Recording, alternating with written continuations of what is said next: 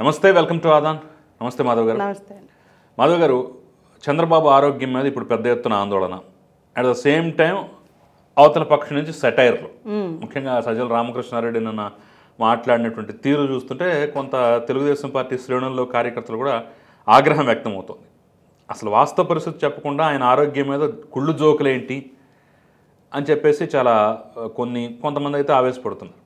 ఇక మధ్యలో సాయంత్రానికి జైళ్ళ శాఖ డీజీనే ఏకంగా ప్ర- ప్రెస్ మీట్ పెట్టారు. ఆయన ఆ బరువు తగ్గటం కాదు ఇంకా పెరిగారని చెప్పేసి చెప్పే ప్రయత్నం చేశారు. అయితే ఇక్కడ కొన్ని అనుమానాలు కూడా వస్తున్నాయి. డాక్టర్ల హెల్త్ బులెటిన్ రిలీజ్ చేస్తే బాగుంటుంది కానీ వాళ్ళని పక్కన కూర్చోబెట్టుకుని మొత్తం డీజీఏ మాట్లాడారు ఎస్పీ మాట్లాడారు. డ్రోన్లు ఎగురుతున్నాయంటే అసలు మా పరిధిలోకే రాలేదు మేము చూడలేదు అని చెప్పేసి అంటున్నారు తప్ప నిజమో కాదు తేల్చట్లేదు. ఇలా రకరకాల ఆరోపణలు. సో ఆయన ప్రాణాలకు ముప్పుంది ఏదో జరుగుతోంది అనేటటువంటి అనుమానాలకి ఇటు పక్క నుంచి వస్తున్నటువంటి సమాధానాలు కానివ్వండి ఈ అంశాలు కానివ్వండి ఒక ఇంకా అనుమానాలు పెరగడానికైతే దారితీస్తుంది సో ఓవరాల్ ఎంటైర్ ఎపిసోడ్ మీద మీ విశ్లేషణ ఏంటి అసలు? సజ్జల రామకృష్ణారెడ్డి ఎందుకు మాట్లాడతారో అసలు దానికి అంటే ఆయన ఏ కెపాసిటీలో వచ్చి మాట్లాడినా కానీ నిర్లక్ష్యంగా నిర్లజ్జగా మాట్లాడడానికే వస్తున్నారు ఆయన. అండ్ ఈ విషయంలో పర్టికులర్లీ ఒక మనిషి ఒక గవర్నమెంట్ అరెస్ట్ చేసి జైల్లో పెట్టింది అంటే బాధ్యత ఎవరిది? గవర్నమెంట్ది. ఆయన ఎలా ఉన్నారు ఏంటి అనేది అనుమానాలు అవనివ్వండి నిజాలు అవనివ్వండి దానికి ఆన్సరబుల్ ఎవరు? గవర్నమెంట్. సో అలాంటప్పుడు నువ్వు మీరు గవర్నమెంట్ ప్రతినిధిగా వచ్చి మాట్లాడుతున్నప్పుడు ఎంత బాధ్యతగా మాట్లాడాలి? వెటకారంగా మాట్లాడడానికి ఇది ఏమన్నా మీ ఇంట్లో విషయమా? మీ ఇంట్లో మనిషి గురించి మాట్లాడుతున్నారా? మీరు మాట్లాడేది ఒక మాజీ ముఖ్యమంత్రి గురించి. ఒక ప్రతిపక్ష నాయకుడు అండ్ ఆ పార్టీకే నాయకుడు గురించి మాట్లాడుతున్నారు మీరు. ఏదో చిన్న చిత్తగా మీ కోడికత్తి సీన్ల గురించి మాట్లాడట్లేదు కదా ఎటగారాలు పోవడానికి. అదొకటైతే డిఐజీ గారైనా ఎవరైనా అసలు సింకేదండి ఒకళ్ళు బరువు పెరిగారంటారు ఒకళ్ళు తగ్గారంటారు ఒకళ్ళు మేము చూస్తున్నాం అంటారు ఒకళ్ళు డ్రోన్ వచ్చిందంటారు ఒకళ్ళు రాలేదంటారు. అసలు వాళ్ళే డ్రామా అంతా ప్రాపర్గా స్క్రిప్ట్తో చేయట్లేదు. ఎక్కడ కొరాబరేట్ అవ్వట్లేదు నిజాలనేవి. అండ్ డాక్టర్స్ మీరు అన్నట్టు బులెటిన్ డాక్టర్స్ కదా రిలీజ్ చేయాలి. ఇప్పుడు అవినాష్ రెడ్డి గారి అంటే ఇక్- ఇక్కడ ఒక కామెంట్ ఏమొస్తుందంటే వాళ్ళు అంతకుముందు ఏదో బీపీ ఎంత ఉంది మిగతా ఎంత ఉన్నాయి అని చెప్పేసి కొన్ని పారామీటర్స్ ఇచ్చారు. ప్రధానంగా మాట్లాడుతున్నటువంటి బరువు అనేటువంటి అంశం మాత్రం అందుట్లో మెన్షన్ చేయలేదు. ఆయన ఎన్ని కేజీలు ఉన్నాడు పెరిగాడా తగ్గాడు వాట్ ఎవర్ ఇట్ మేబీ అసలు అది ఆ- ఆ కాలమే లేపేసినప్పుడు అనుమానాలు రాకుండా ఎలా ఉంటాయి అనేది అందరికీ వస్తున్న ప్రశ్న. అది బేర్ మినిమం ఎందుకంటే ఇప్పుడు ఈ మధ్యలో నాకు హెల్త్ బాగున్నప్పుడు నేను వెళ్ళినప్పుడు నాకు బాగుంది త్రోట్కి నా బరువు కూడా చూశారు. అసలు హాస్పిటల్కి వెళ్తే ముందు చేసే పని బరువు చూడటమే కదా ఎవరైనా. మినిమం థింగ్స్ ఏం చూస్తున్నారు? టెంపరేచరు బీపీ బరువు మినిమం. అవన్నీ రాసాకే మనం డాక్టర్ని కలుస్తాం. డాక్టర్ అవన్నీ చూసాకే మనతో మాట్లాడతారు. అంటే మినిమం థింగ్స్ కూడా మీరు బయటకు రిపోర్ట్ చేయకపోతే అనుమానాలు రాక ఏమొస్తాయి? ఖచ్చితంగా. అండ్ దట్టు ఈ వయసు మనిషిని మీరు తీసుకెళ్తున్నప్పుడు ఇంకెంత జాగ్రత్తగా ఉండాలి? అంటే అంత స్పృహ లేకుండా ఎలా మీరు గవర్నమెంట్ రన్ చేస్తారు? అంత స్పృహ లేకుండా జైలు చూపండి. ఆయనకి తెలియదా ప్రోటోకాల్ ఏంటి? లేదా మినిమం మనం ఏం రిపోర్ట్ చేయాలి? అసలు మీ పోనీ మీకు తెలియకపోతే డాక్టర్ని మాట్లాడనివ్వచ్చు కదా? వాళ్ళు మాట్లాడరు. నేను ఒక- ఒక వీడియోలో చూశాను. పాపం డాక్టర్ని మాట్లాడించడానికి మీడియా వాళ్ళు ట్రై చేస్తుంటే అప్పటి వరకు హ్యాపీగా గ్లాస్ దించుకొని గాలి పోసుకుంటున్న మనిషి గబా గబా గబా గ్లాస్ పైకి అనేసుకుంటున్నారు కారులో. అంటే అదేంటి? అది వాళ్ళకి ఇష్టం లేదా లేదా వాళ్ళని కంట్రోల్ చేస్తున్నారా? ఏం జరుగుతుంది? మామూలుగా చెప్పొచ్చు కదా. ఇప్పుడు ఆయన ప్రజల మనిషి మిమ్మల్ని అడుగుతుంది ప్రజల ప్రతినిధులుగా మీడియా వాళ్ళు అడుగుతున్నారు. ఏదైనా చెప్పొచ్చు కదా. ఇలా చెప్పనప్పుడే అనుమానాలు వస్తాయి. చెప్పనప్పుడే ఎవరైనా సరే కుటుంబం అయినా పార్టీ అయినా ప్రజలైనా ఎవరైనా సరే అనుమానాలకి మీరే కదా ఛాన్స్ ఇస్తున్నారు. బరువు పెరిగారు తగ్గారు అది ఇది డాక్టర్స్ని చెప్పనియండి. And in the first place నాకు అర్థం కాని విషయం ఏంటంటే పార్టీ ఏం చేస్తుంది. ఇప్పుడు కుటుంబం మాట్లాడుతున్నారు కుటుంబం పోరాడుతున్నారు పార్టీ ఏం చేస్తుందండి? ఏమీ లేని వాళ్ళే అవినాష్ రెడ్డి గారిని అరెస్ట్ చేస్తారంటే వాళ్ళ ఎమ్మెల్యే హాస్పిటల్లో జాయిన్ చేస్తే డాక్టర్లు వచ్చి చెప్తా ఉంటారు. ఏ హాస్పిటల్లో ఏ ట్రీట్మెంట్ ఇస్తున్నారో అర్థం లేకుండా చెప్తారు. వాళ్ళ నాన్నగారికి కంట్లో చుక్కలేయడానికి వాళ్ళు బెయిల్ తీసుకొని ఆయన హాస్పిటల్ పెట్టారు.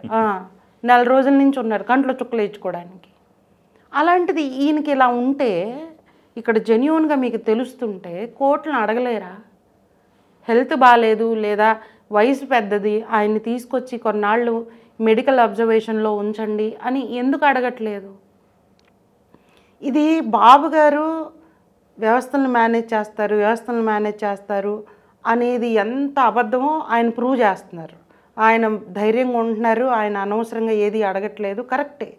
కానీ ఆయన్ని కాపాడుకోవాల్సిన బాధ్యత ఉన్న పార్టీ అన్న అడగాలి కదా వెళ్ళి ఇప్పుడు నేను ఒక చూశాను. ఒక సీనియర్ జర్నలిస్ట్ అన్నారు మీడియాలో ఆయన. జైల్లో ఉన్న జెంటిల్మెన్ అని. ఎందుకంటే ఎట్టి పరిస్థితుల్లో నాకు ఒక స్పెషల్ కన్సిడరేషన్ ఇవ్వండి అనేది అడగకుండా ధైర్యంగా ఏ ప్రాబ్లం వచ్చినా సరే ఏ వెళ్ళి వీళ్ళని వాళ్ళని రిక్వెస్ట్ చేయకుండా ఆయన అట్లాగే స్ట్రాంగ్గా బతుకుతున్నారు అని. కరెక్టే కానీ మనం ఆలోచించాలి కదా. ఆయన స్ట్రాంగ్గా ఉన్నారు. ఆయన్ని జాగ్రత్తగా చూసుకునే బాధ్యత కూడా ఉంది కదా పార్టీ దగ్గర. నిన్న జీవి హర్ష కుమార్ కూడా కొన్ని కామెంట్లు చేశారు. ఇప్పుడు ఆయన వాడే అంటే స్నానానికి ఉపయోగించేటటువంటి నీళ్ళల్లో కూడా కొన్ని కెమికల్స్ విష రసాయనాలు లాంటివి కలిపి ఆయన ఆరోగ్యాన్ని దెబ్బతీసే కుట్ర ఒకటి జరుగుతోందని చెప్పేసి హర్ష కుమార్ అన్నారు. At the same time Nara Lokesh అయితే ఏకంగా స్టెరాయిడ్స్ ఇచ్చే ప్రయత్నం జరుగుతోంది అనేటటువంటి కామెంట్ కూడా చేశారు. సో ఇన్ని అనుమానాలు వస్తున్నప్పుడు మరి కోర్టులో పిటిషన్ వేయటం కానివ్వండి లేదంటే ఆయన ఆరోగ్యం గురించి ఇంకా జాగ్రత్తలు తీసుకునే పరిస్థితులు కల్పించాలని రిక్వెస్ట్ చేయడం కానీ ఇవేమీ చేయకుండా జైలు భరోలు లేదంటే మొన్న ఆయన కొంతమంది నాయకులు తాడేపల్లి వెళ్ళి ముఖ్యమంత్రి క్యాంపు కార్యాలయం ముట్టడి వీటి వల్ల ప్రయోజనం ఉంటుందంటారా? అది అసలు కామెడీ అండి. వెళ్ళి జగన్ గారికి లెటర్ ఇవ్వడం. ఏంటది? ఏ ఏం చేస్తున్నారు? అంటే ఏ కాలంలో ఉన్నారనాలి? లేదా అసలు ఏ ఉద్దేశంతో చేస్తున్నారనాలి? దేనికైనా సరే ఇప్పుడు మనం నిరసన తెలిపేదానికి కొన్ని స్టేజ్లు ఉంటాయి. ఆ- ఆయన్ని ఫస్ట్ అరెస్ట్ చేశారు. ఓకే నిజాలు నిజ నిర్ధారణ ఏదో ఒకటి అనుకుందాం. సరే అప్పుడు మీరు ఓపిక పట్టారు వెయిట్ చేస్తున్నారు. కానీ ఇప్పుడు ముప్పై రోజులు దాటిపోయాక ఆయన ఆరోగ్యం ఎలా ఉంది అని ఆందోళన కలుగుతున్న తర్వాత కుటుంబ సభ్యులు కూడా బయటకి చెప్తున్నప్పుడు ఆయనకి థ్రెట్ ఉంది అని. అండ్ ఆ జైల్లో అదే రూమ్లో ఉన్న హర్షకుమార్ గారు ఆ జైలు ఆ రూమ్ మీద ఎండ ఎలా ఉంటుంది? పొద్దున ఎటు నుంచి ఎటు పడుతుంది? సాయంత్రం పడుతుంది? క్లియర్గా చెప్తున్నారు. అండ్ ఆయనకు ఆల్రెడీ స్కిన్కి కొంచెం ఇష్యూస్ వచ్చినాయని వీళ్ళు ఒప్పుకుంటున్నారు. ఈ ఏజ్లో skin allergies not a simple thing and Anuradha garu కూడా ఒక పాయింట్ పంచమర్త అనురాధ గారు ఒక పాయింట్ చెప్పారు. Dehydration dehydration is not a small thing అది ఎక్కువ అయినప్పుడు ఆర్గన్స్ ఫెయిల్ అయిపోతే చాలా ఇష్యూస్ ఉంటాయని. ఇంత ఇవన్నీ మీడియా ముందే మాట్లాడతారు ఏంటండి? వెళ్ళి కోర్టుల తలుపులు కదా వీళ్ళు కొట్టాలి. మీడియా ముందు మాట్లాడితేనో జైలును ముట్టడిస్తేనో సీఎం గారికి వెళ్ళి లెటర్ ఇస్తేనో బాబు గారి ఆరోగ్యం బాగుపడిపోదు. ఆయనకు అర్జెంటుగా కావాల్సింది ఏంటి? Medical support medical observation.